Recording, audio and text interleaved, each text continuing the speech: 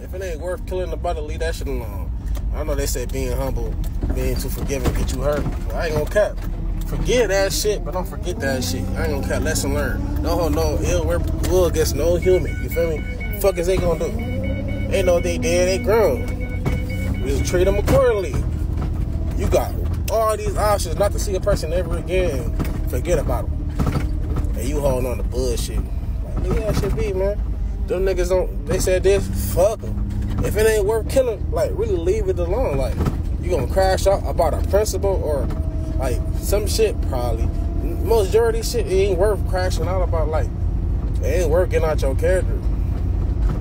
Lay your life, shit. If it ain't hurt you, shit, fuck it.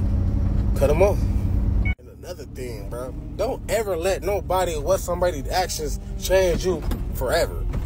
If they not in your life, why the fuck would you let them change who the fuck you are, who you was made to be, your true heart? Why would you let them damage you?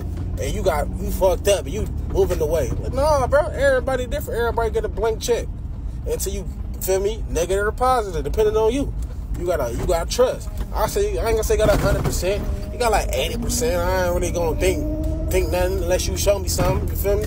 Most people let shit breaking broken hearts or homies doing some foul shit change how they interact with everybody. Like how the fuck you that's some weak shit. Personally, that's some weak ass mindset. You gonna let these person change how you deal with people the rest of your life?